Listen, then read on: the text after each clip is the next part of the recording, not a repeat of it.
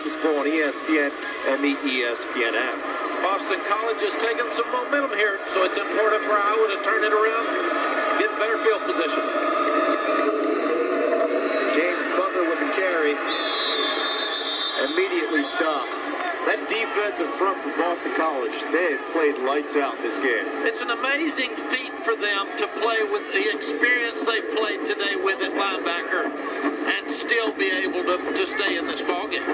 Well, I, I mean, think, it's unbelievable. And I think they've done it, Matt, because of Wyatt Ray and Zach Allen.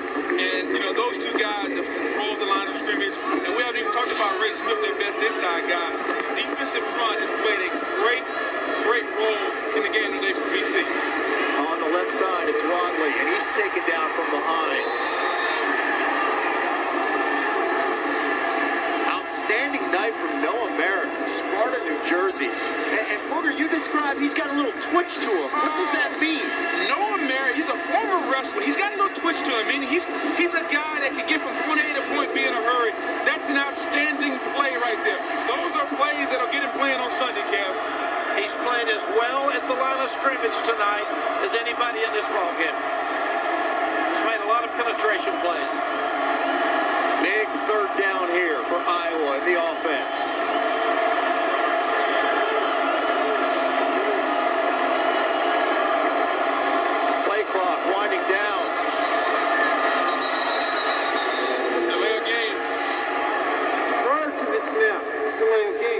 Griffin.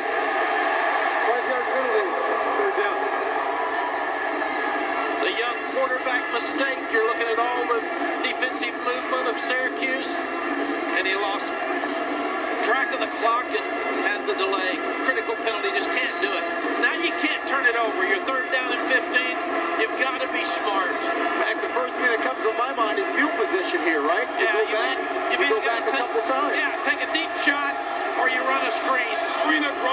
got the football. Lean on your defense.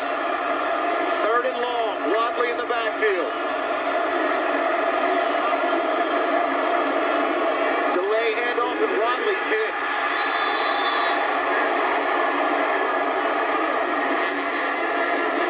And now, guys, we're looking at 6.03 left in the ball game, so this clock is becoming a factor, too.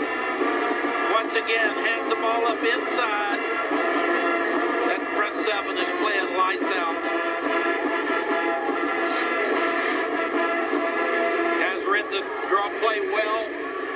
like they knew it was coming and made a solid tackle.